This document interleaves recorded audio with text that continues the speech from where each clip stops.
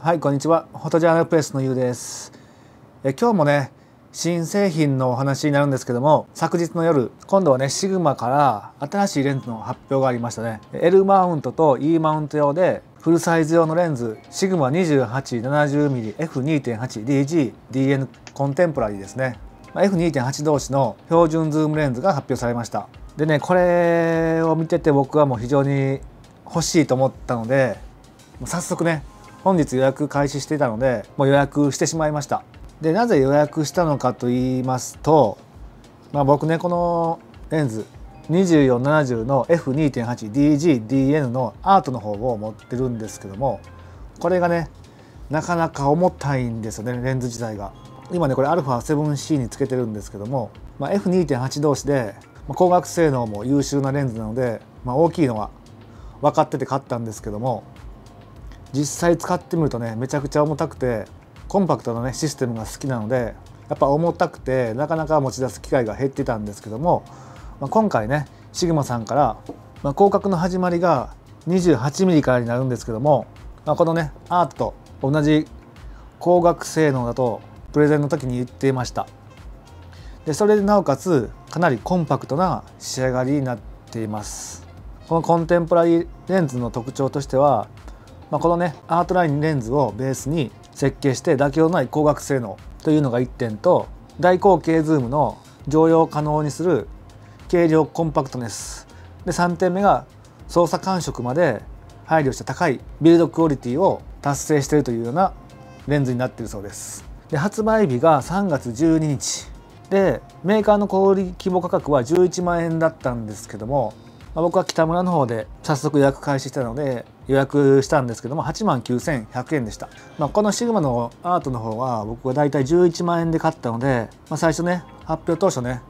小売規模価格が11万円ということで、まあ、10万切らないとやっぱり僕もねさすがに手を出さないかなと思ってたんですけども、まあ、早速ね予約始まってて値段見ると8万9000円だったので早速予約したっていうような感じです。まあ今日の動画はねもうそんな予約しましたというような動画なんですけどもまあねこのアートレンズっていうのは実はね非常に優秀なレンズで、まあ、海外のねレビューとかでも、まあ、今のねソニーの2470の GM ってあるんですけども、まあ、それよりかね光学性能がいいっていうようなレビューもねよく見かけます、まあ、そのくらいね優秀なレンズなんですけどもまあ、先ほども言ったように重さがね 830g あるんですねレンズ本体ででこのね α7C の本体が 509g で今これ α7C につけてるんですけどもこの α7S3 でも 699g なので、まあ、レンズの方がね断然重たいんですね 830g あってなので今回ね発表されたそのコンテンポラリーの方はなんとね重さが 470g なので 360g も軽いんですよね、 まあ、缶ジュース1本分ぐらい重さが違います。ということでねこの光学性能を引き継ぎつつまあ重さがね、まあ、広角側が若干狭くなったと言っても重さがねもう 360g も軽くなったらもう買うしかないかなと思って早速予約した感じです。まあね動画とか撮影しててねジンバルに乗せる時とかこれすっごい重たくてもう腕が結構疲れてくるんですね。まあ、なのでねそういったその動画とかでジンバルに乗せて使う時とか、まあ、この α7C とかでも、まあ、バランスよく使えるのではないかなと思っています。で長さなんかも一応ね測っておくと今このレンズが 124.9mm なんですね。長さが。で今回の 103.5mm なのでまあ長さ的にはこのくらいですね、まあ、ここの何て言うんですかねレンズのこの部分がないといった感じですかね。長さ的には。それよりかちょっと短いですね。なのでね大きさ的にはねこの僕が持っている種類のねアナモルフィックレンズがあるんですけどもこれが大体 110mm なのでで K がねコンテンポラリーの方も 67mmK なのでこれも 67mmK でこっちが 82mmK なのでまあこんな感じですかね。違いとしては。まあイメージなんですけども、まあ、大体このぐらい違うっていうような感じですね、まあ、外しますとこんな感じですね。まあほぼねこっちがその新しく出る 28mm70 のコンテンポラリーと同じような大きさでこっちが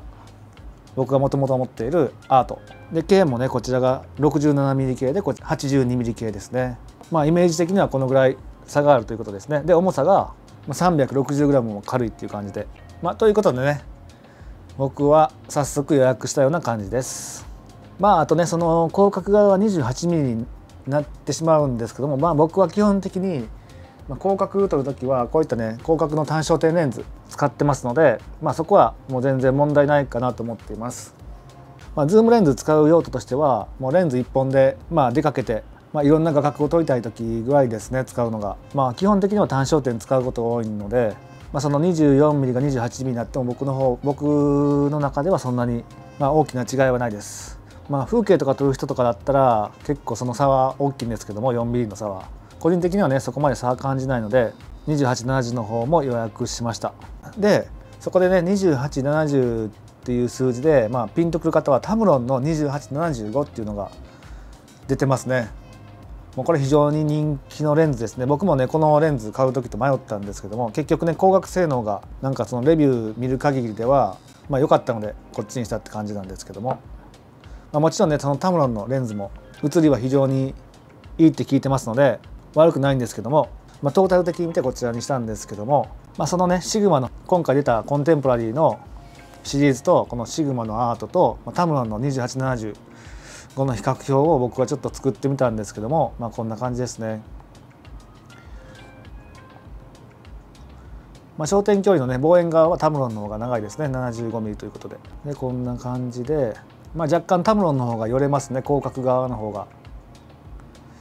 で防塵防滴がこれはね本当に防塵防滴機構アートの方がついてるんですけど今回ではねコンテンポラリーの方は簡易防滴防塵だそうです。でタムロンの方も簡易防人防的ということで、まあ、少しぐらいのね雨だったら大丈夫だということはこの発表会の時に言っていましたでコーティングもこのアートと同じコーティングしているようですで他には、まあ、その他としては、まあ、このアートレンズはスイッチ類がね AF マニュアルのフォーカス切り替えスイッチとあとここ AFF のボタンとズームロックのスイッチですね。ここをロックすると、まあ、持ち運びの時とかに伸びてこないロック機構があります。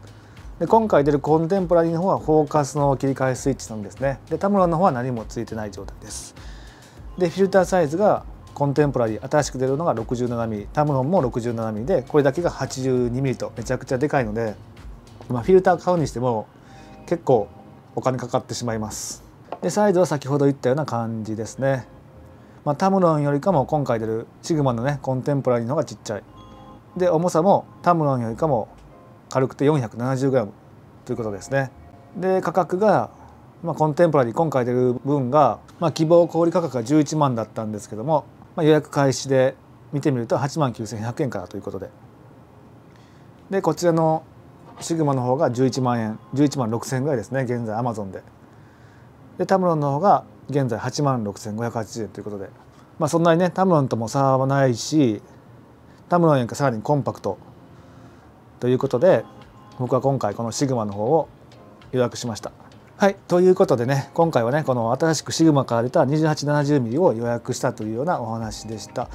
まあ、届いてみて実際ねこれとレンズと比べてみて、まあ、ほとんどね同じだったらこれ手放すかもしれないんですけども一応ねこれも購入しても持っておこうかなとは思っています。まあ、今日の動画はそんな感じですねでまたねソニーから新しい GM レンズ 50mm の F1.2 が出るような噂がまた上がってきてますね、まあ、それもね僕 50mm 非常に好きな画角なので、まあ、めちゃくちゃ多分値段は高いと思うんですけども F1.2 のレンズなので、まあ、またねその噂もまた上がってくると思いますので楽しみにまたレンズ情報見ていこうかなと思います。はい、皆さんね今回ねこのシグマから発売された 2870mmF2.8 の DGDN コンテンポラリー、まあ、購入されるでしょうかまたねいろいろ意見ありましたらコメント入れていただいたら助かります、はい、それではね本日の動画は以上になります。それでは。